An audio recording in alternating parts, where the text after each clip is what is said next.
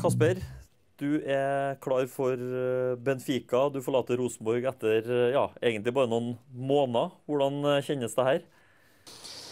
Og litt, litt vemodig på, på, mange måter, fordi jeg har ja, nytt å være i klubben og, og være en del av garderoben. Så det blir vemodig, men der venter en ny spennende utfordring som jeg ser fram mot og gleder meg til å prøve krefter med.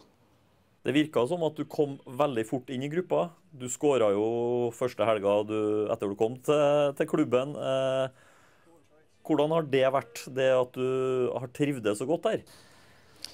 Eh, ja, det har vært viktig. Det er ja, enormt viktig, tror jeg, for mange fotballspillere. I hvert fall for, for meg. At man trives utenfor banen. og trives med ens holdkamerater. holdkammerater på, øh, i garderoben. Så jeg følte meg velkommen fra første dag. Og øh, jeg følte meg en del, av, en del av gruppen. Så ja, det var nemt å falle, falle inn i, i truppen. Og kanskje da spesielt kortlaget med Markus, Erlend, Carlo pluss pluss. Hvordan det ble å forlate den gjengen? det er jo litt trist. Det har vært mange sjove stunder og, og fine snakke frem og tilbake. Øh, men det, ja, det, er jo nu sånn det er. Øh, men jeg kommer til å, til at savne kortlaget og, og resten av, af drengene på, på, laget. Men øh, er sikker på at vi, vi ses igjen på en eller annen måte. Benfica er en veldig stor klubb med veldig mange kjente navn i troppen. Du drar bare etter noen måneder i Rosenborg måtte være en så stor klubb for at du skulle si ja den gangen her?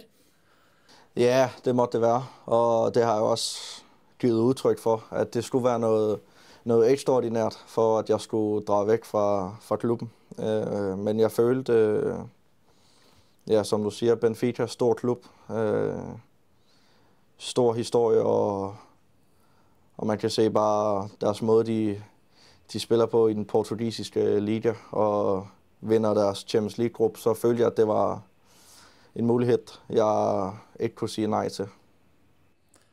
Det tror jeg de aller fleste skjønner, Kasper. Men jeg antar at du så ikke for deg at det her skulle gå så fort?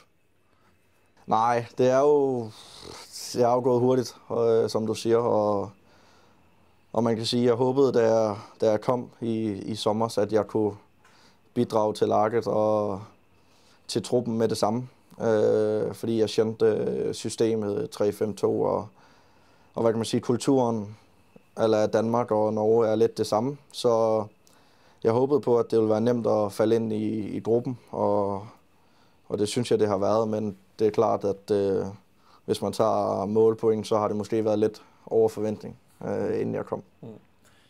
Hvilke forventninger har du nå til å dra til en så stor klubb som eh, Benfica? Hvilke tanker gjør deg nå som du sitter her, rett før du skal sette deg i bilen på vei vekk fra hotellet?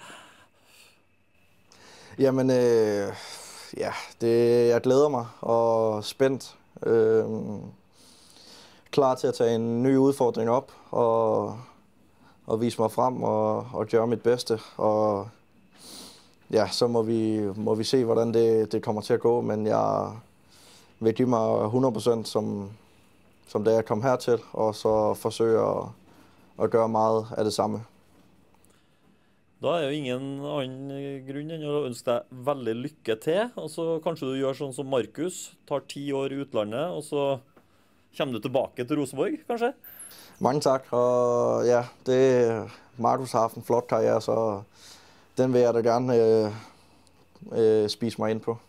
Lykke til, Kasper. Takk for det.